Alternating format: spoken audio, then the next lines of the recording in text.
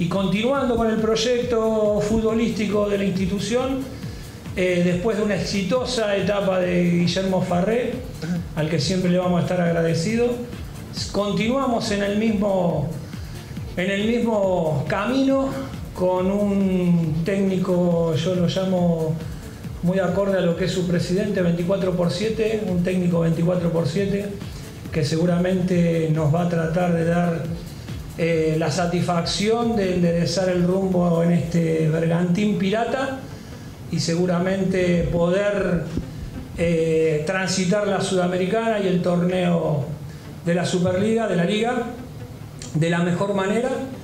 Luis Fabián Artime presentó al nuevo técnico de Belgrano. Juan Cruz Real dirigirá así por primera vez en el fútbol argentino.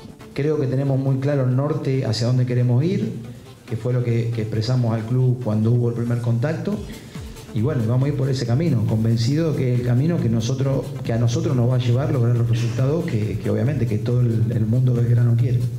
Pero como idea central es la que dije anteriormente, tener protagonismo del juego por medio de, tener la pelota la mayor cantidad de tiempo posible.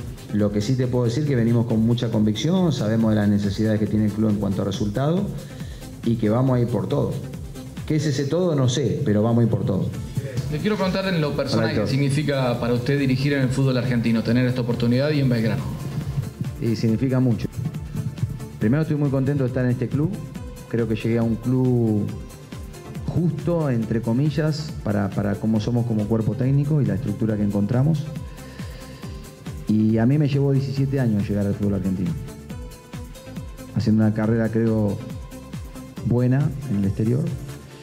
Y obviamente que el, respaldo y la decisión que toma la directiva, estamos dispuestos a poner el cuerpo para no aprovechar la oportunidad, sino demostrar, obviamente, lo que hemos hecho afuera, poder hacerlo acá. Así que para mí significa mucho, estoy muy contento de estar acá.